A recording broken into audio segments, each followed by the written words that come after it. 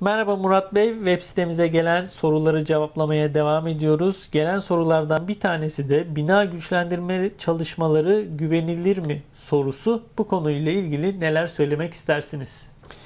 Merhabalar Ertuğrul Bey. Bina güçlendirme çalışmaları eğer ki tecrübesi bu üstüne basarak söylüyorum tecrübesi yeterli biri tarafından yapılıyorsa son derece güvenlidir diyebilirim. Nedeni basit bir nedeni var aslında. Konut projelerinde ağırlıklı olarak e, yaptığınız her proje tekrar ruhsat alma aşamasında belediyeye gittiğinizde bir üniversitece incelenmesi talebinde bulunur. Yani siz bugün sıfır bir konut yaptığınızda doğrudan ruhsat alabiliyorken bir güçlendirme projesi yaptığınızda yetkili bir üniversiteden, yetkili derken daha doğrusu yeterliliği olan bir üniversiteden binanın yapılan güçlendirme projesinin veya analizinin diyeyim daha doğrusu üniversitece incelenerek onaylandıktan sonra ruhsat verildiğini unutmayalım.